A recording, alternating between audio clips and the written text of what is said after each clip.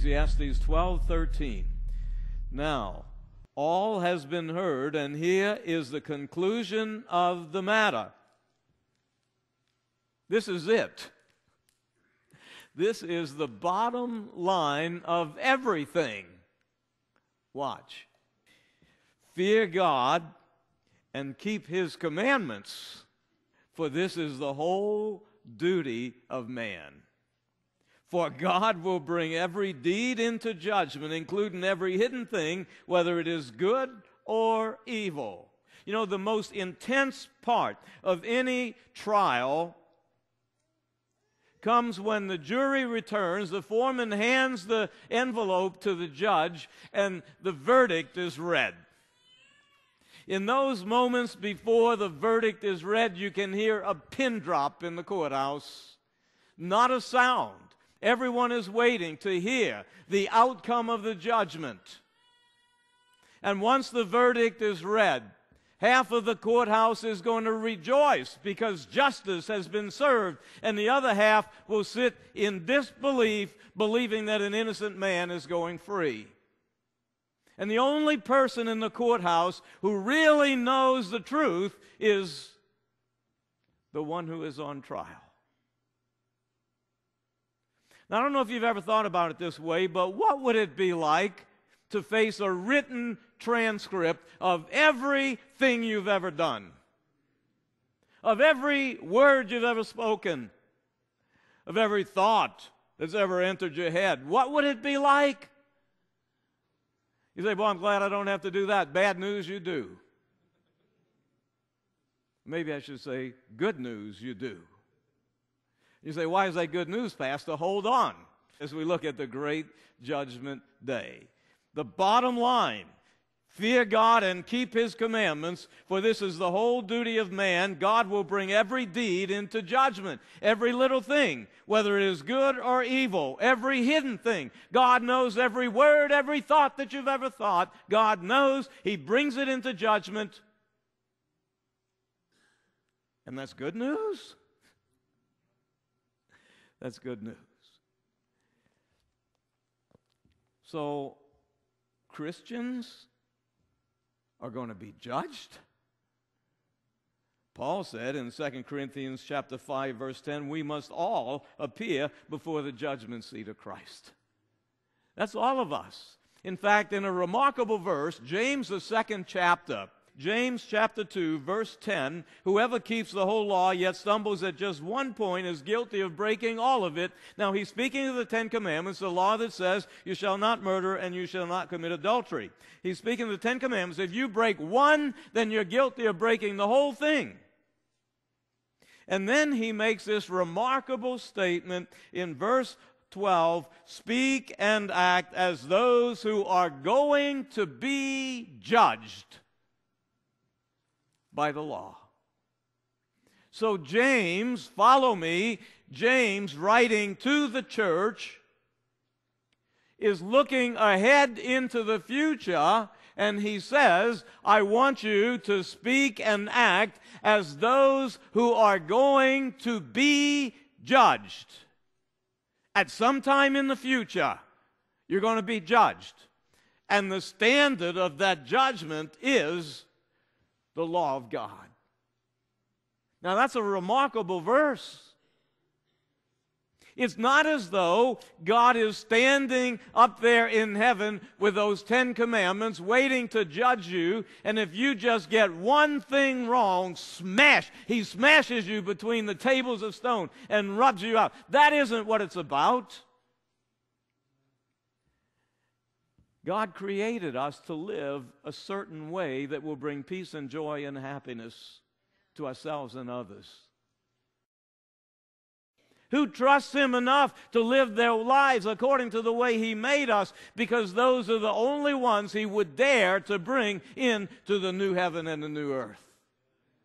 He's not going to let sin rise up again. That's the purpose of the judgment. So James is looking forward. Don't miss this. James is looking forward to the time when the church will be judged by the law.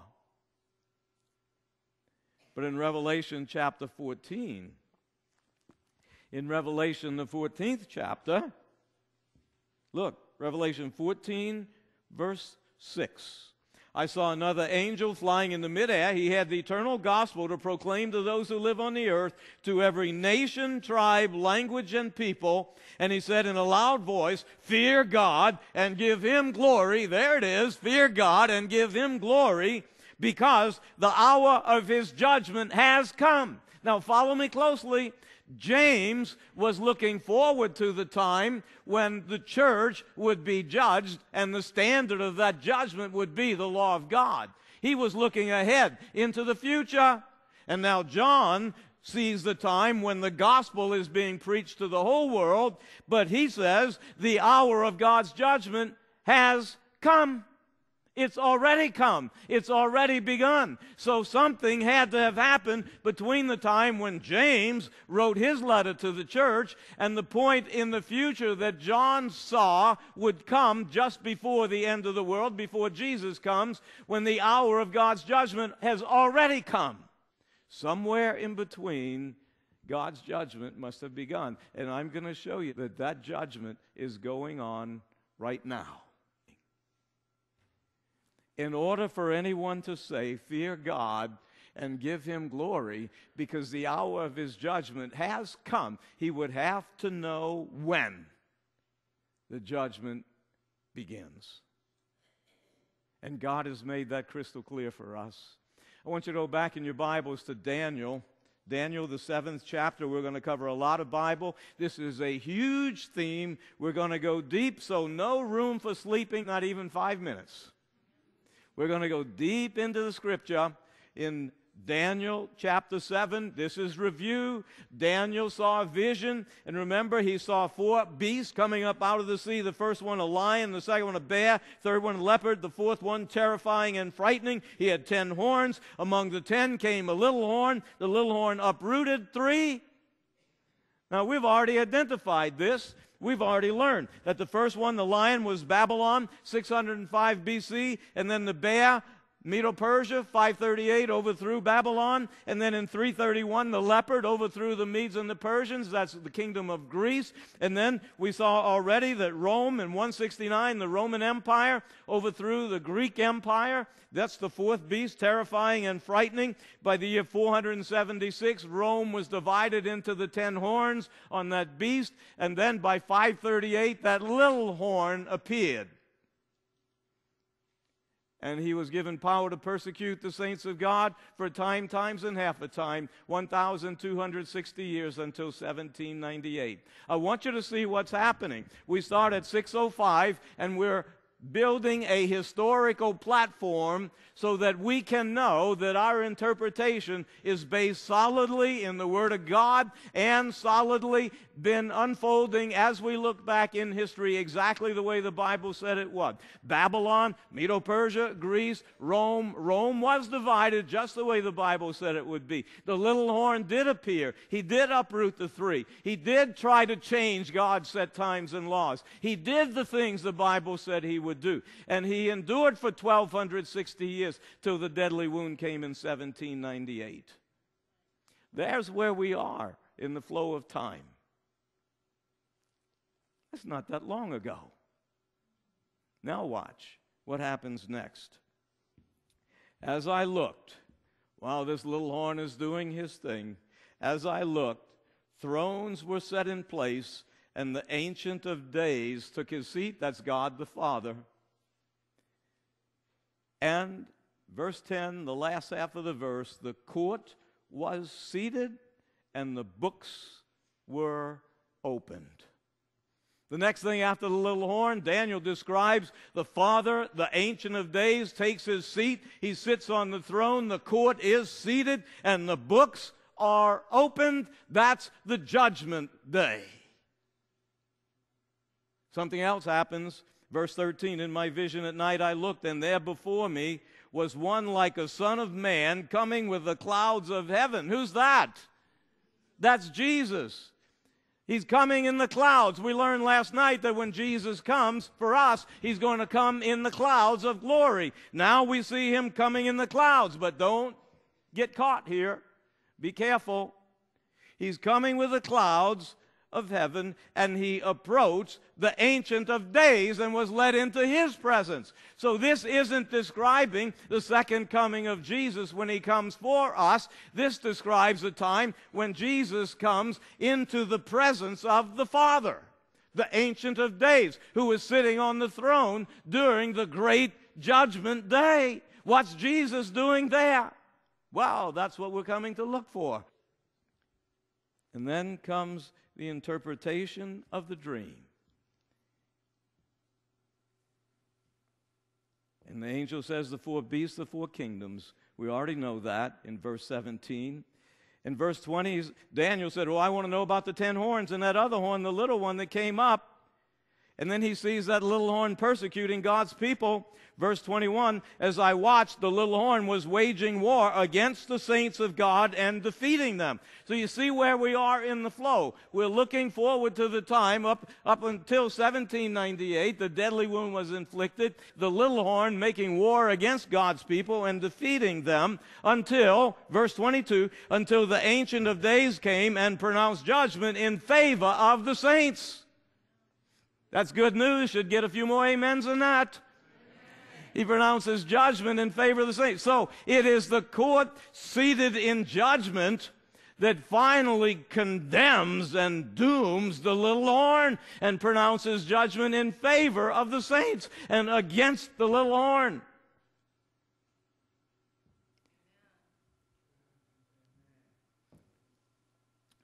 Don't miss this he pronounces judgment in favor of the saints. That means that the saints and the little horn must have both been being judged. You don't pronounce judgment in favor of someone that's not being judged.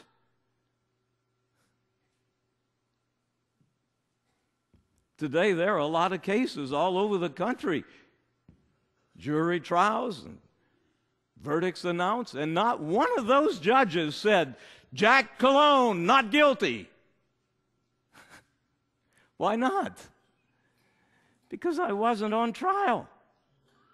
The only time a judgment is pronounced in favor of someone is if that person is being judged, if that person is on trial. Well, the fact that that God pronounces judgment in favor of the saints means that the saints are being judged. But praise God, the verdict is good, not guilty.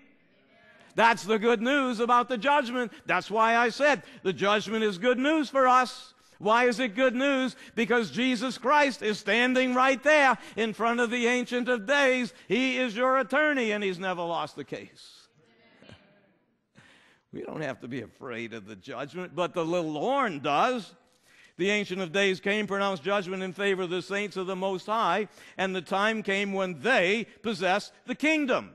What happened to the little horn? Verse 26 The court will sit, and his power will be taken away and completely destroyed forever.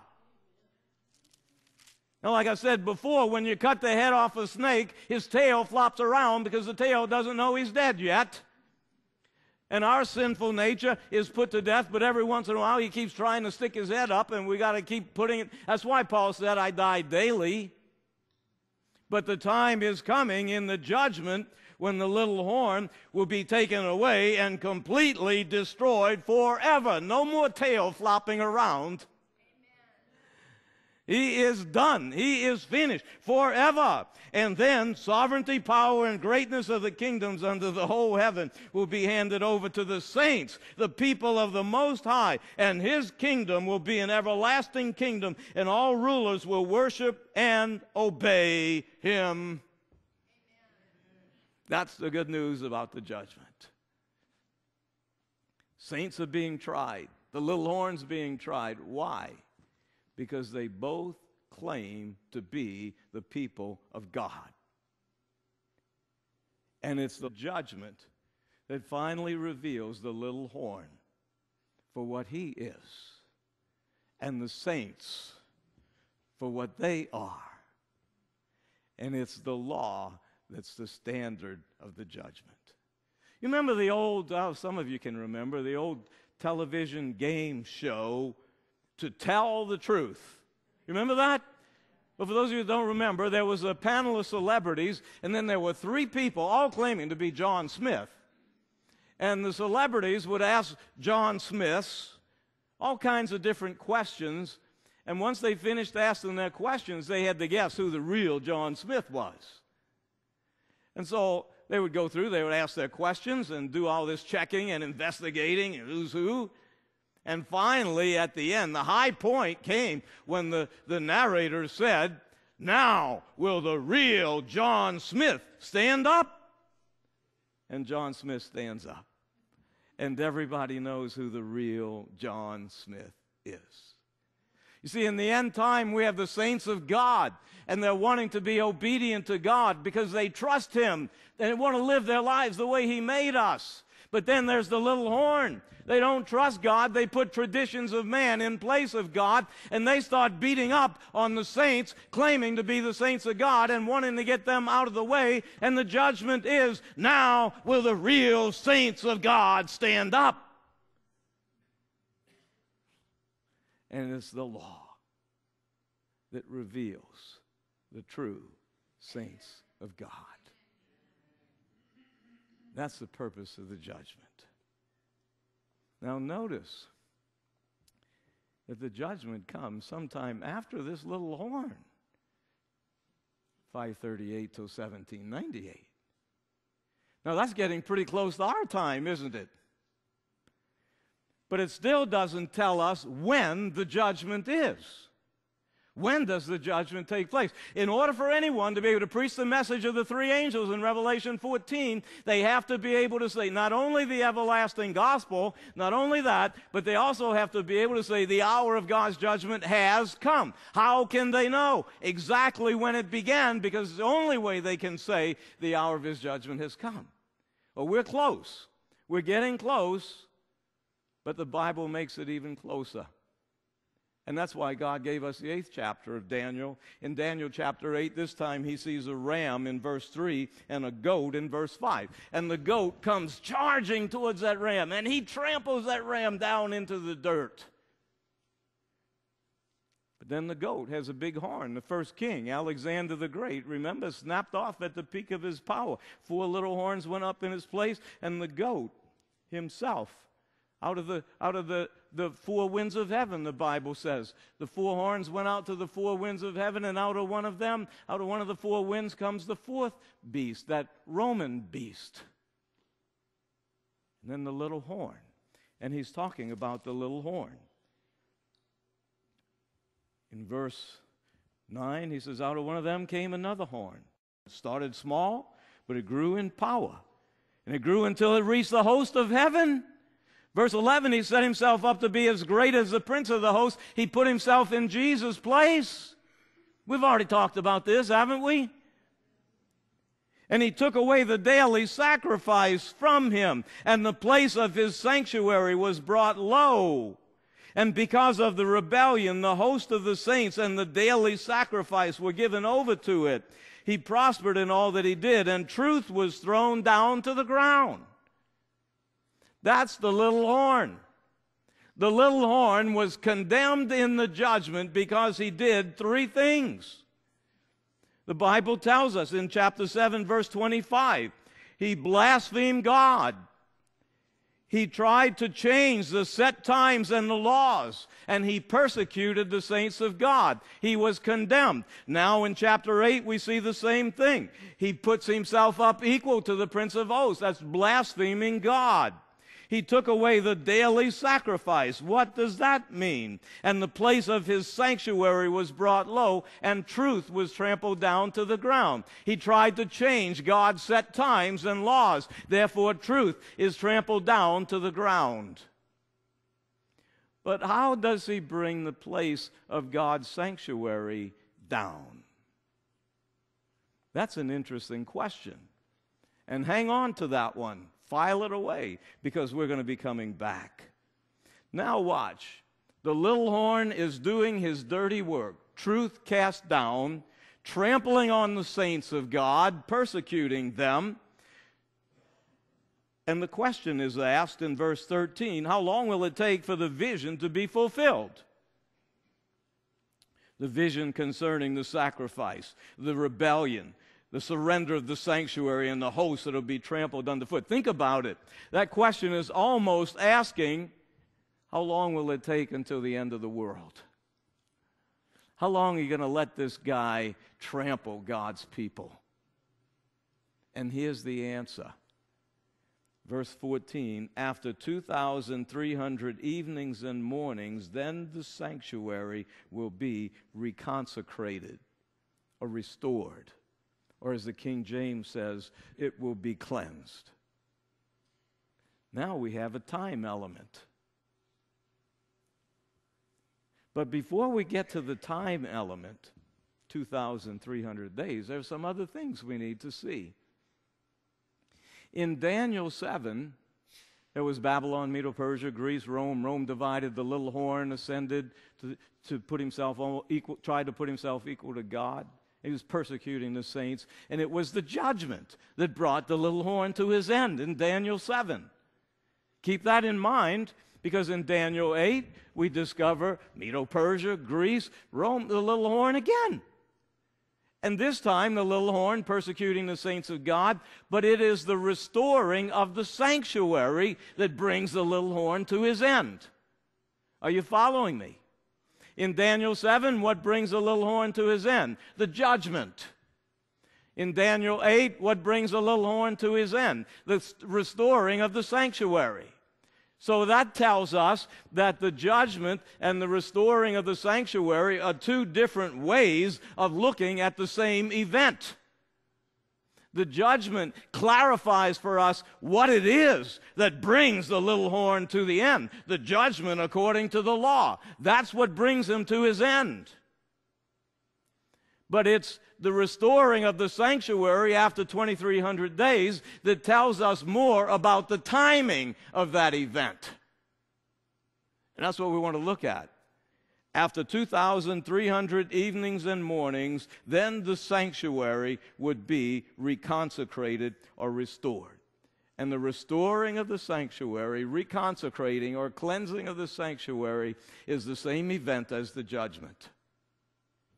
So we're going to take a look at the relationship between the sanctuary and the judgment. But first of all, watch what Daniel did. He was puzzled. He said he didn't understand this vision. So the angel came to explain it to him, and in verse 17 says that he was terrified, he fell to the ground, but the angel said, "Understand that the vision concerns the time of the end." Now, we know that the time of the end, the last days, began when Jesus came. We are living in the time of the end. We are living and have been living in the last days. That's why the, the, book of Hebrews begins with the words, In these last days, God has spoken to us through His Son. So the last days, the time of the end, is New Testament time. So that vision concerns the New Testament time. Verse 19. I'm going to tell you what will happen later, he said, at the time of wrath, because the vision concerns the appointed time of the end. So, so the angel is saying, Daniel, listen, don't be so concerned. This vision concerns a special appointed time of the end that God, only God, has in mind and knows. And then he tells us again in verse 26 Seal up the vision, it concerns the distant future. It doesn't apply to you right now, this restoring of the sanctuary, because Daniel was looking from Babylon to Jerusalem and he knew the sanctuary is in ruins and that's what he was worried about. But the angel says, Look, Daniel, seal it up. It doesn't apply to you. It doesn't apply to your people. It's the distant future. It doesn't even apply to that sanctuary that's in ruins right now. Well, what does it apply to? It applies to the New Testament sanctuary, to the New Testament Mount Zion, to the New Testament sanctuary that is in heaven. And you may say, Well, I never heard about a sanctuary in heaven. That's why we need to take a minute to go back to Hebrews, the New Testament now, in Hebrews, the eighth chapter in Hebrews chapter 8. Because remember, it's the restoring of the sanctuary that is the same as the judgment. And it's only when we see the relationship of the two that we can understand the judgment, the restoring of the sanctuary, and the timing of this whole prophecy. So hold on and let's go to Hebrews, the eighth chapter, verse 1. The point of what we're saying is this this is powerful stuff. And I know it's a little bit deep, but when you get it, you're going to go, wow. You may even say amen. Already you're seeing. Look, verse 1 We do have such a high priest who sat down at the right hand of the throne of the majesty in heaven and who serves in the sanctuary, the true sanctuary set up by the Lord and not by man. Now, man built the sanctuary on earth, but we have a high priest who serves in the sanctuary in heaven built by God, not man. Watch this. Verse 5, he's speaking about the priests who offered their sacrifices in that sanctuary on earth. He says, they serve at a sanctuary that is a copy and a shadow of what is in heaven. So there is something in heaven that the sanctuary on earth, with all of its sacrifices, was a copy and a shadow of. That's why Moses was warned when he was about to build the tabernacle see to it that you make everything according to the pattern shown you on the mountain. So when Moses went up on top of Mount Sinai with the two tables of stone and handed them up to God, and God wrote his law with his own fingers, handed them back down to Moses, God showed Moses something else. God showed Moses a sanctuary in heaven, which was to be the pattern for the one that he built on earth. Did you hear this? Let me read it again. That's why Moses was warned see to it you make everything according to the pattern shown you on the mountain. So Moses saw a sanctuary in heaven and patterned the one on earth after what he saw in heaven. Are you with me on this? That means that there must be a sanctuary in heaven. And that's the one that Daniel was talking about in his vision when he said the vision is for the last days, it's for the end time, it's for the time of the end. It doesn't pertain to you, but the appointed time. It's the sanctuary in heaven. Could not be the sanctuary on earth because the sanctuary on earth was destroyed in AD 70. So it must be talking about the sanctuary in heaven. But what could be in heaven that would need to be restored or cleansed? Hold on. We're coming. We're just not quite there yet. We need to understand a little more about the sanctuary. In fact, in Hebrews chapter 4, Verse 16, let us then approach the throne of grace with confidence so that we can receive mercy and find grace to help us in the time of need. Jesus is our high priest in the sanctuary in heaven. You do not need to go to any man to confess your sins. You go directly to Jesus. He's on the throne of grace. You confess your sins to him. You go boldly to the throne of grace confessing to Jesus Christ. No man on earth we confess directly to Jesus. So any system of worship that puts a man in the temple claiming to have the authority to forgive sins is a counterfeit to our high priest, Jesus Christ, in the temple in heaven. He has the authority to forgive sins. And salvation comes when we approach Jesus, who is in his sanctuary, ministering to us by virtue of the blood he shed on the cross for our sins. Not with the blood of goats and animals and sheep, but with his own blood. He is our high priest. And he is in heaven, in the sanctuary up there, ministering for you down here. That's good news for us. Chapter 9, verse 1 says, Now the first covenant, that's the Old Testament, had regulations for worship and an earthly sanctuary. We already know about that. First covenant had an earthly sanctuary and regulations. He describes that sanctuary. In it, he says, was the Ark of the Covenant and the stone tablets of the covenant. The Ten Commandment law was inside the Ark of the Covenant. He says, but we don't have time to discuss these things in detail now. There's just a lot there, and maybe that would be a good subject for another Revelation Now Part 2 seminar. someday. The first covenant had priests, earthly priests, offering sacrifices. And every day they offered sacrifices for the sins of the people. And every day people received forgiveness for their sins. Not because of the lamb that they sacrificed, but because of the Lamb of God whom that sacrifice pointed forward to. And this happened day after day. And the priest would sprinkle that blood in the sanctuary. In fact, into the actual presence of God. It's just enough to see the priest. We sprinkle that blood every day. They receive forgiveness. They go to the sanctuary. They receive forgiveness. They were forgiven for their sins. It was done then. But once a year, on the Day of Atonement, came the Day of Reckoning. And that was a serious time. It was a time when the priests would cleanse the holiest place in the sanctuary. And they would fast and they would pray and put away every sin from their hearts, asking God to search their hearts. And those who didn't were separated from the camp. They were done. It was a day of judgment, a day of reckoning. Once a year. Every day they were forgiven. Once a year came a day of reckoning. Who was it that really trusted God?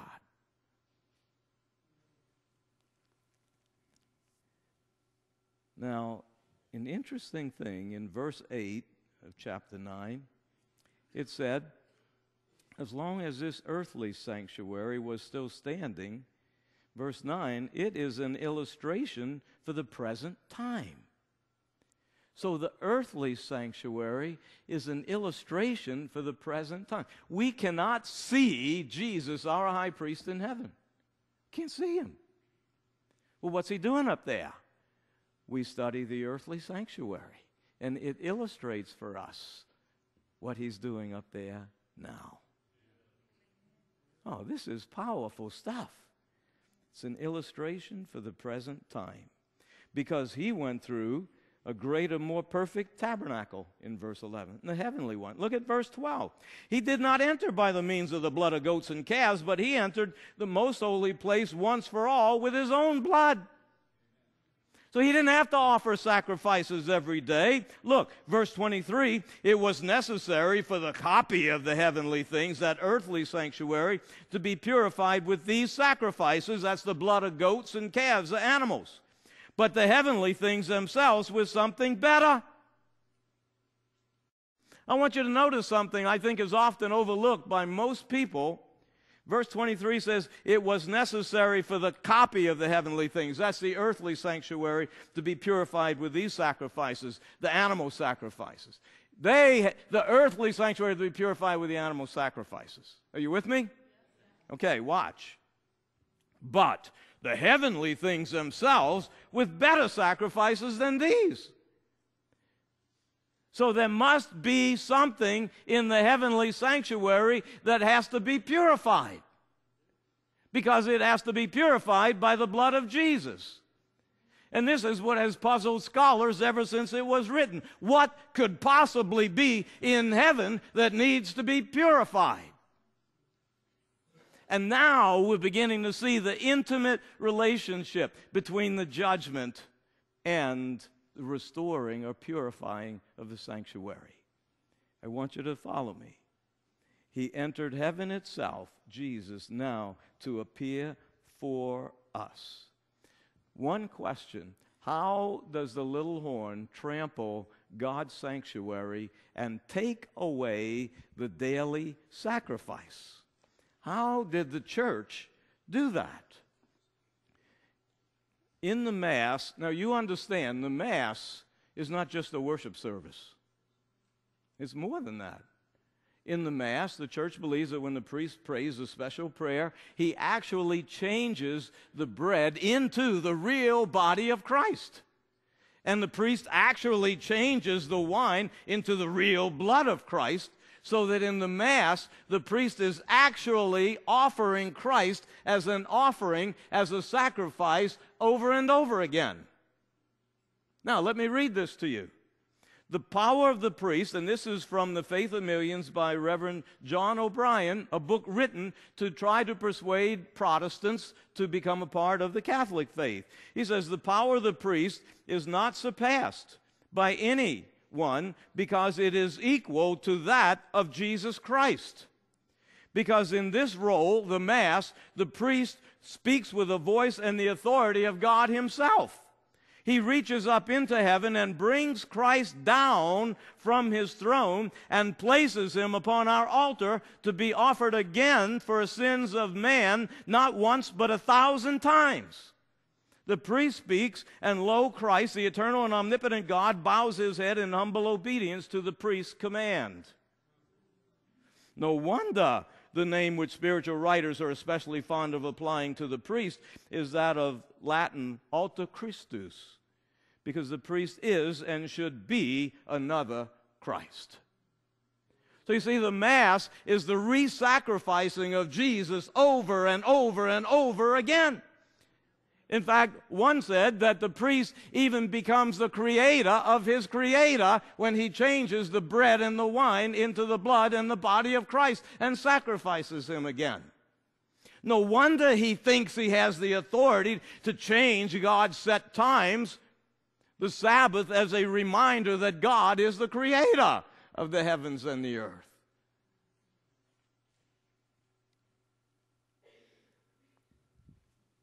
But the Bible says in Hebrews chapter 9, verse 26 But now he has appeared once at the end of the ages to do away with sin by the sacrifice of himself one time is enough. Amen? But how? That's how he takes away the effectiveness of the daily. It's not enough by faith to pray for God to forgive you. You have to sacrifice him again over and over at the Mass. But how does he trample God's sanctuary in heaven? Watch. Verse 26 of Hebrews chapter 10. If we deliberately keep on sinning after we have received the knowledge of the truth, there is no sacrifice for sins left, only a fearful expectation of judgment. So if we deliberately reject God's truth and God's commands, there is no sacrifice. No sacrifice for willful presumptuous sin. Now, he's not talking about weakness. He's not talking about striving to do your best and falling short and asking God to forgive you and help you to do better. No, that's not what he's talking about. He's talking about willful, presumptuous God, I know what you want, but I think I know better. This is what I'm going to do. I'll show you how it works in a minute. So watch. No sacrifice for sin, willful, presumptuous sin. How much more severely do you think a man deserves to be punished who has trampled the Son of God underfoot? The Lord will judge his people. So, willful, presumptuous sin is trampling Jesus Christ underfoot. And he is our high priest ministering the sacrifice that he gave for us once for all from the sanctuary in heaven. Willful, presumptuous sin is to trample the sanctuary underfoot because that's where Jesus is. Are you following me? Now, watch. What does all of this have to do with the judgment? In verse 23, it was necessary, on chapter 9, Hebrews 9, verse 23, again, it was necessary for the copies of the heavenly things, the earthly, to be purified with these sacrifices, animal sacrifices, but the heavenly things themselves with better sacrifices than these. Jesus entered heaven itself now to appear for us in God's presence. So Jesus, remember, on the clouds of glory, appeared in the presence of the Ancient of Days as the court sat and the books were open for judgment. Jesus is your attorney in the judgment. He was going there to stand for you. That's why you have nothing to fear about the judgment. It's the judgment that cleanses and purifies God's sanctuary in heaven. If you don't see it yet, watch this. This is the best part in Hebrews chapter 12. I'm going to have to go fast because it's kind of review. You have not come to a mountain that can be touched. That was the mountain Moses went up on. No, you haven't come to that kind of a mountain that can be touched. Watch this, verse 22. You have come to Mount Zion to the heavenly Jerusalem, to the city of the living God. So you've come to the heavenly Mount Zion, to the city of the living God, the new Jerusalem. You have come to thousands of angels in joyful assembly, to the church of the firstborn, whose names are written in heaven. You have come to the judge of all men, to Jesus, the mediator. So you don't have to be afraid because you haven't come to an earthly sanctuary. You've come to the sanctuary in heaven.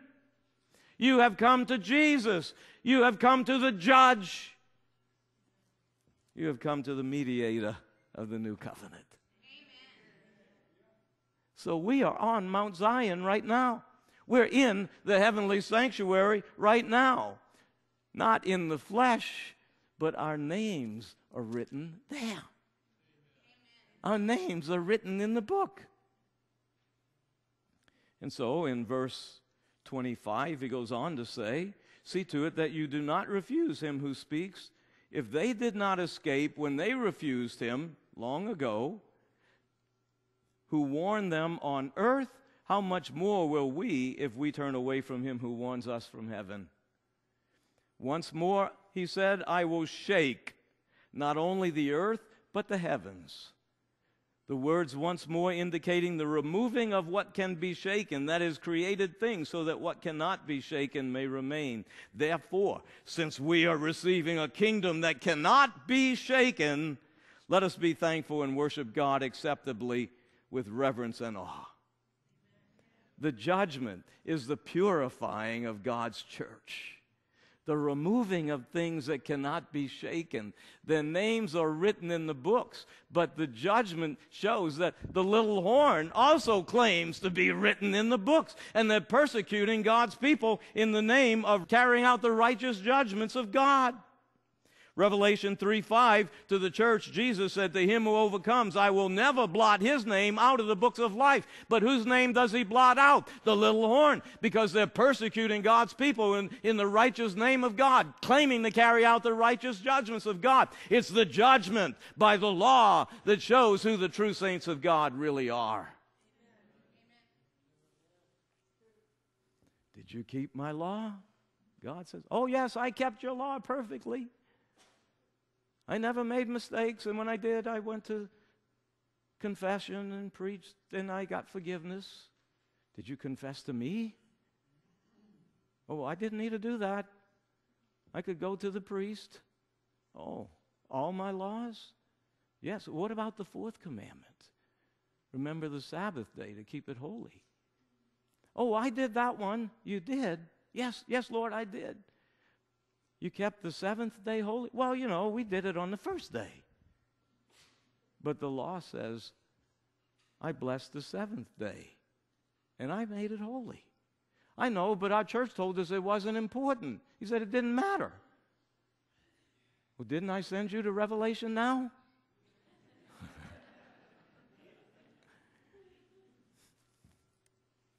so, when is the sanctuary going to be restored? When we answer that question, we'll know when the judgment began. Back to Daniel chapter 8, verse 14. He said, After 2,300 evenings and mornings or days, then the sanctuary will be reconsecrated. Now we know what the reconsecration or restoring or purifying means.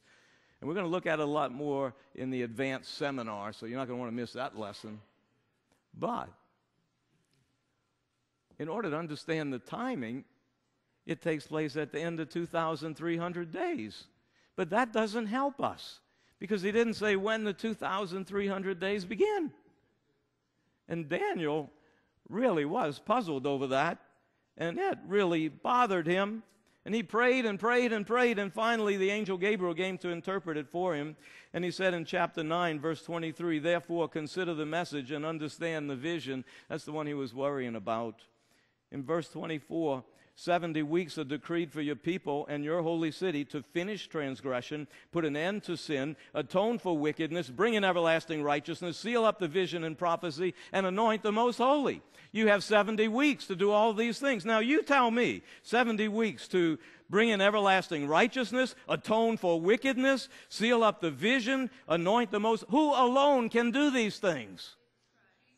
Only Jesus. Only Jesus. So you have 70 weeks to get ready for Jesus. You see it? He's saying you have 70 weeks to get ready for the Messiah. Now we have 70 weeks until getting ready for the Messiah to come, and 2,300 days, and then the judgment begins, but we still don't know when either one of these time periods start until we get to the next verse. Now comes the fun in verse 25. Know and understand this from the issuing of the decree to restore and rebuild Jerusalem. Remember, Jerusalem was in ruin. So when the decree is given to rebuild Jerusalem, until the anointed one, the ruler, comes, there'll be seven weeks and 62 weeks. So that's 69 weeks. From the decree to restore and to build Jerusalem until the anointed one, that's the Messiah, Jesus until he comes 69 weeks. Now that decree was given in the year 457 BC. One of my professors in the seminary, Old Testament professor, was world renowned was he's passed away, but he was world renowned as an archaeologist and he focused a whole book on that date. When did that decree, when was that decree given? And he discovered it was given by King Artaxerxes in the year 457 BC. And he said, There is no Old Testament date any more firmly established than that one. No wonder. Because at the end of that 69 weeks, starting in 457 BC, at the end of that 69 weeks would be the Messiah coming. We have a prophecy beginning in 457 BC, and after 69 weeks, the Messiah would come. There are seven days in a week. 7 times 69 means that there would be 483 days, or a day being a symbol for a year, 483 years until Messiah comes from the decree. When you do the math, it comes out to the year 27 AD. 27 AD. What happened in 27 AD? Jesus, let me tell. Jesus was baptized in the Jordan River in the year 27 AD. Now, the word Messiah means anointed one. When Jesus was baptized, the Holy Spirit came down and anointed him, saying, God said, You are my son. I am well pleased. He was anointed as the Son of God by the Holy Spirit in 27 AD to be the Messiah. Amen. That's awesome. Right on time, Jesus came as the Messiah. No wonder he said in Mark 1:15, he said, "The time is fulfilled right after his baptism." What time? The prophecy of 69 weeks until Messiah comes would be fulfilled. So Jesus fulfilled that prophecy right on time when he was baptized in 27 AD. Then it says, after that time, verse 26, the anointed one or the Messiah would be cut off and have nothing. But the people of the prince who would come would destroy the city and the sanctuary. So he would be cut off after that time. We know he was. After he was baptized, he was cut off, wasn't he? But it doesn't say when yet. Well, it's this. Verse 27. We have one week left, remember? 69 weeks, Messiah would come, 70 weeks to prepare for everything, put an end to sin, atone for sacrifice. We still have another week left, the 70th week. That's seven years.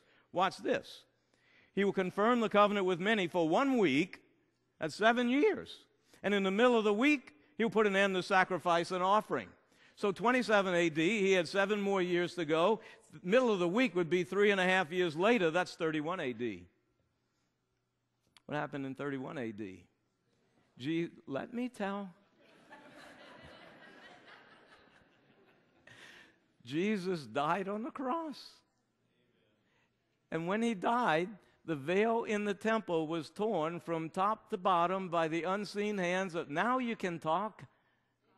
Angels tore the veil, meaning that Jesus put an end to the sacrifices and the offerings because the Lamb of God had died right on time in the year 31 AD. He came in 27. He was crucified in 31 AD. What a prophecy. It tells us exactly when he would come, and he did. It tells us exactly when he would die, and he does. Now we know the starting point of that vision. It starts in 457. The starting point is true. A year is a symbol for a day is true. We proved it with the prophecy. Now we can know 2,300 days, then shall the sanctuary be restored. A year is a symbol for a day, 2,300 300 years, the sanctuary would be restored, the judgment would begin, and it equals 1844.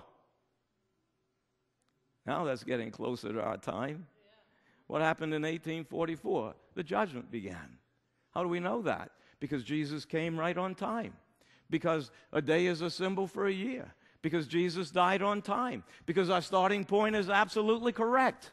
Therefore, the judgment had to begin in 1844. And anyone after that can say, now the hour of God's judgment has come. We can know. God made sure we can know. But some other things happened about that time all around the world, equally independent of each other. Bible scholars came to the conclusion that this prophecy ended in 1844. Now, they thought that the restoring of the sanctuary would be that the sanctuary is the earth, and the restoring of the sanctuary would be Jesus coming to the earth. So they started preaching Jesus is coming in 1844. And this happened all over the world, but especially in our country, the United States of America. It was led by a young Baptist minister named William Miller. And William Miller began to preach Jesus is coming in all the Baptist churches. And then the other churches, the Methodists, the Presbyterians, the other churches started inviting him to come and preach in their churches that Jesus is coming in 1844. Now, if you believed that you knew when Jesus was coming and it was just a month or two away or a week or two away, would it change your life? Shouldn't. right? It shouldn't. Hey, we have no guarantees past the moment. But I know human nature, so does God. And it did. There was a revival like none that had ever taken place since Pentecost. People turning to God, searching their hearts for sin, trying to get ready for Jesus to come. Even set the date, October 22, 1844. That day came and passed, and obviously Jesus didn't come. When he didn't come, there was a great bitter bitter disappointment. You see, when they were preaching that Jesus was coming, all of those who believed that were called Adventists. Because an Adventist is one who believes that Jesus is coming soon. In that sense, every Christian should be an Adventist if you believe Jesus is coming soon. So they're all Adventists Methodist, Presbyterian, Episcopal, Pentecostal, whatever. They were Adventists because they believed Jesus was coming. But the disappointment was so bitter that most of them gave up their faith. But a few said, No, the prophecy is right, the prophecy is true. And they dug into the Word of God for more. And they found a picture of themselves. Did you ever say, God, please help me, and open the Bible, and there is exactly what you need to hear? Now, I don't recommend doing that, but that's what happened to them. They found a picture of the experience they'd just been through. You want to see it? I'll show you anyway. Revelation chapter 10. Revelation, the 10th chapter. I saw in verse 1 a mighty angel coming down from heaven. He was holding a little scroll or a book which lay open in his hand. Daniel was sealed, remember? Seal it up until the time of the end. Now they see this book open. They're convinced that has to be the book of Daniel, only one that was sealed. And then he said there would be no more delay in verse 6. Does that sound like the hour of God's judgment has come? Sounds like it to me. No more delay. Verse 8 Then the voice that I heard from heaven spoke to me once more Go and take that book that lies open in the hand of the angel. So I went to the angel and I asked him, Give me the little scroll. And he said, Take it and eat it. It'll turn your stomach sour, but in your mouth it'll be sweet as honey. I took the little book from the angel's hand. I ate it. It tasted sweet as honey in my mouth, but I'd eaten it, it turned sour. Sweet as honey. The book of Daniel opened. Jesus is coming. 1844, October 22. How sweet it was in their mouths, but how bitter it was in the stomach when Jesus didn't come. And they were convinced without a doubt that prophecy was written there just for them. And so I said, God, that's us. What do you want us to do? And God said, Well, read the next verse. Oh, okay. So they read the next verse. The last verse in the chapter, you must prophesy again about many people, nations, languages, and kings. How can we prophesy again? God, we got it wrong. And God said, Read the next verse. So they read the next verse. See, you got to compare scripture with scripture. I was given to read like a measuring rod go and measure the temple of God and the worshipers there. The temple. That's where we made our mistake. The temple of God. And so they began to study the temple and they discovered the sanctuary in heaven that he was talking about, not the sanctuary on earth. Now they're excited, and they didn't need God to tell them to read more because they're back into the Spirit again, and they're studying and discovered in verse 18 the time has come for judging the dead. Oh, surely, the temple in heaven, the judgment. It's the judgment that began in 1844. Now it's all getting in clear focus. And then verse 19 God's temple in heaven was open, and in the temple was seen the ark of his covenant. What is the standard of the judgment? If the judgment began, what's the standard? There was the ark of the covenant, the Ten Commandments. And that little group of disappointed Adventists from all the different churches discovered the Sabbath and became Seventh day Adventists just in time for God to raise up a people who wouldn't be afraid to stand up and say, Fear God, give him glory, because the hour of his judgment has come. You see, God has crafted a message. He said, Here's my message, the three angels' messages. Who wants it? No one picked it up except that little group of discouraged Adventists who discovered the last great sign for Jesus to come. The hour of God's judgment has come.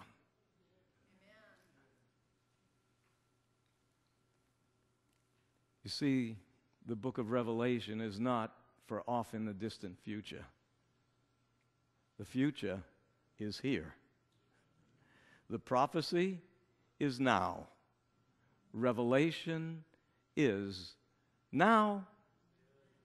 You're hearing the three angels' messages now. There was ever a time to worship the Creator. That time is now.